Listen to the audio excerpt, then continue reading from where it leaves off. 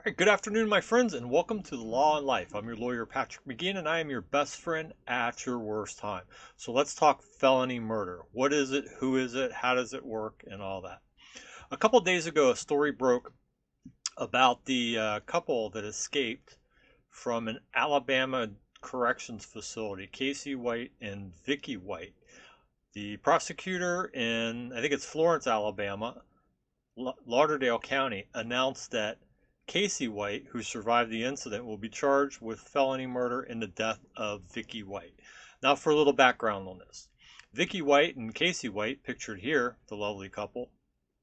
Casey White was serving a 75 year sentence for a crime spree, had also been charged with another murder case in Lauderdale County, and was awaiting trial on that when Vicky White, who is the assistant director of corrections for the Lauderdale County Sheriff's Office in Alabama, broke him out of jail. The background on the story is apparently they met in 2020 when Casey White was in Lauderdale County for an arraignment on the pending murder charge.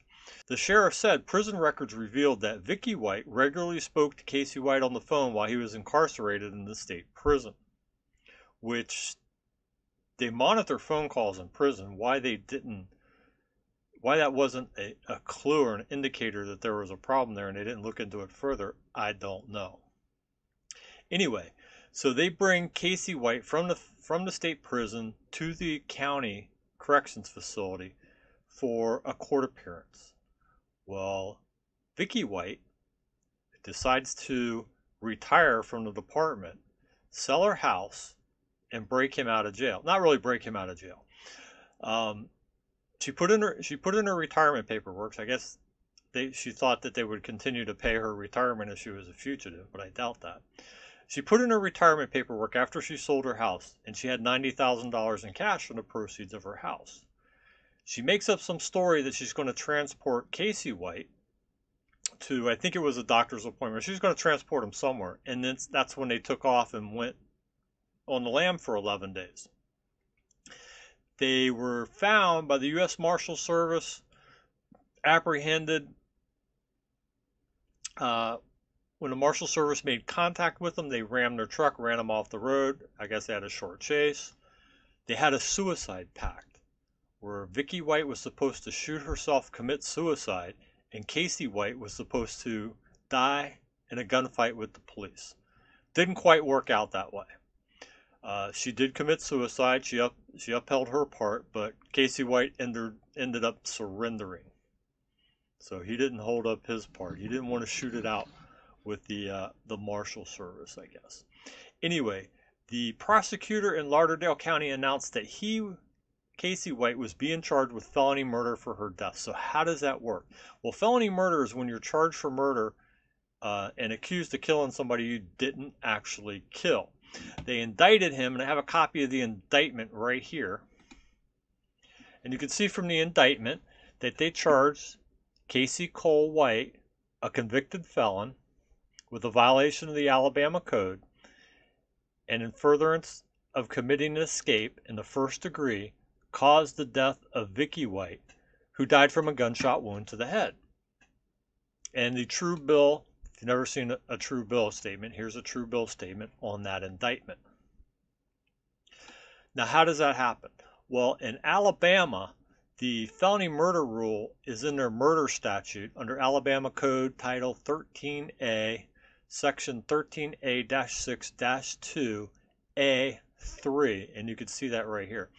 And whenever you're looking up laws, especially if they're difficult to understand laws, one of the best ways to get an understanding of a particular law, especially a criminal law, is to look at the jury instructions. Let's move over to the Alabama jury instruction.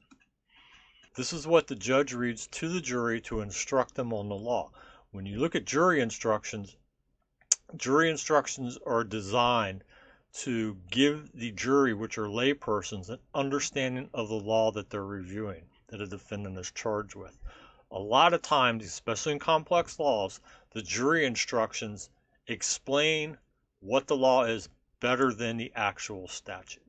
Anyway, In Alabama, a person commits the crime of felony murder if they commit or attempt to commit one of the following arson, burglary, escape, kidnapping, rape, robbery, sodomy, or any other felony clearly dangerous to human life. And the crime we're obviously dealing with here is escape in the first degree, which is escape from a correctional institution. Now, to convict, the state must prove beyond a reasonable doubt each of the following elements that A, the person is dead, which is Vicky White, so she is dead. That the defendant committed or attempted to commit escape in the first degree. So we got that. Here's where it becomes a sticky point. Number three, in the course of and in furtherance of the crime that the defendant was committing or attempted to commit, or in the immediate flight therefrom, he or she or another participant, if there be any, caused the death of any person. Name and describe the act, such as shooting, whatever. So in this particular case of the white, it's section 3 which becomes the questionable section. The, it's been widely reported in statements released by the sheriff that Vicky White committed suicide. Can you be charged with felony murder if somebody commits suicide? I've never heard of that. In my time as a police officer, I've never seen it. We usually see felony murder, um, fleeing from a crime, fleeing from a robbery, get in a car accident, and you kill somebody. Or you get out and shoot out with the police, and the police shoot and kill a co-defendant. Then they end up charging them with felony murder. I've never seen it in a suicide case, so this will be an interesting one to watch.